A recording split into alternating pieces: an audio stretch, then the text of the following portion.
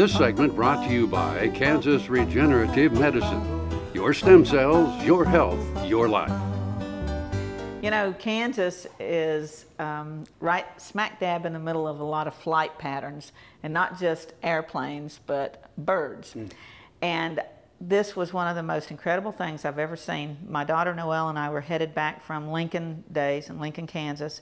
And so we must have been on uh, Highway 18. So we stopped along the highway because as we were driving for, I don't know, five miles, 10 miles, we could see a flock of birds crossing the highway.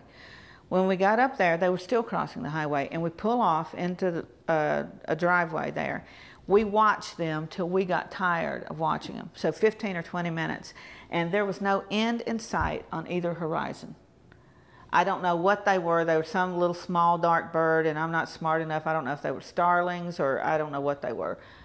I've never seen anything like that, Frank. And it was, they were maybe 40 feet above us, 40, 50 feet above us, and maybe their column was 30, 40 feet wide. And so millions of birds, millions of birds. And because Kansas is smack dab in the middle of this migratory path, we've got um, um, a lot of places, Cheyenne Bottoms, you know, that um, mm-hmm. are designed to uh, um, help take care of that migratory bird uh, population. But Kirwin National Wildlife Refuge in Phillips County is just spectacular. And if you've never been to Phillips County to see this, this is, and Phillips County is beautiful anyway. You know, Phillipsburg, it's just this rolling countryside. It's just gorgeous. But the refuge is, is amazing, mm-hmm.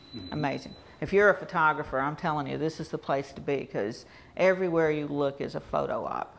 Just magnificent. And there's never anything going on in Kansas, right? Nope, nope, eh. no, nothing happens here. Drive on by. Kirwin National Wildlife Refuge was established to conserve, maintain, and manage wildlife and habitat for migratory birds. The nearly 11,000 acre Kirwin Refuge is located in the rolling hills and narrow valley of the North Fork of the Solomon River in Phillips County. The refuge lies in an area where the tall grass prairies of the east meet the short grass plains of the west. As a result of this merging of prairies and plains, grasses and wildlife common to both habitats are found on the refuge. Over 10,000 migrating waterfowl can be seen on the refuge during fall through early winter. Other migratory birds, including the endangered whooping crane, can be found on the refuge. Since the emphasis is on migratory birds, the refuge provides food, shelter, and nesting areas for migratory birds such as grassland dependents, tree-dwelling neotropicals, waterfowl, and shorebirds. Depending on reservoir water levels, refuge staff use a variety of management practices. Corn, wheat, and milo are grown through a cooperative farming program with a portion of the crop left in the field to provide food for migrating waterfowl and resident wildlife. Other management tools include grazing, brush control, haying, mowing, and controlled burning.